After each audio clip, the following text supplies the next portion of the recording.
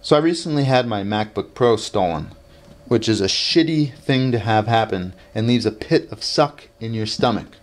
I didn't lose any data, so that's really good. I was fortunate to have it happen in a business that felt negligent and they actually offered to reimburse me. So I sent them my invoice from apple.com and a couple weeks later they sent a check for a thousand bucks and some change.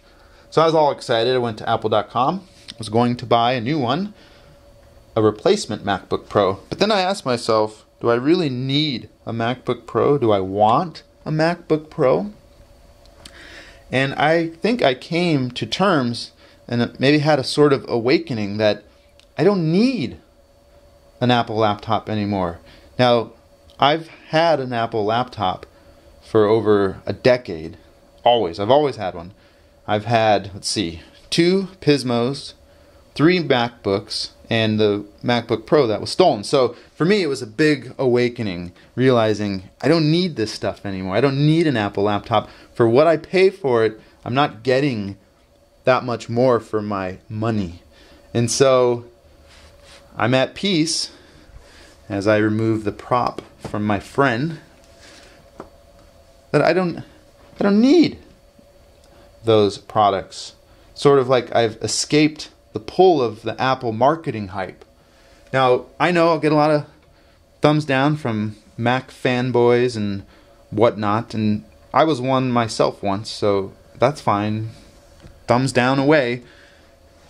As I said, I've owned what six Apple laptops. I remember I had a Gen 1 iPod. I used to walk in the airport with the only pair of white headphone earbuds before anyone had them. So I, I get it. Apple's made great products. They used to really offer an advantage for what you paid. But nowadays, it's just not true anymore. This Dell Vostro that I got, well, last year, earlier this year or something, basically, you know, 450 bucks on the Dell outlet site, quad core, 8 gigs of RAM. You know, it basically, when I still had the MacBook Pro, sat on a desk and was used for printing and email occasionally. But now this is just my laptop. For the cost, this thing does everything I need, albeit for a lot less out of pocket.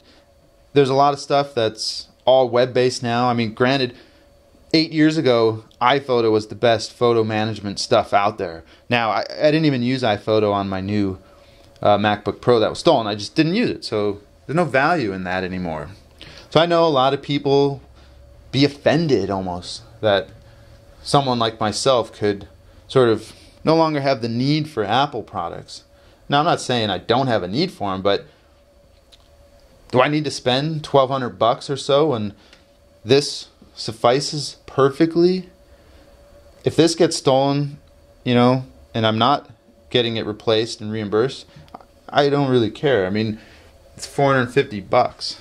I'll just get a new one. No big deal. So, ask yourself, do you need a MacBook Pro? Do you want a MacBook Pro? Or maybe you can be at peace without.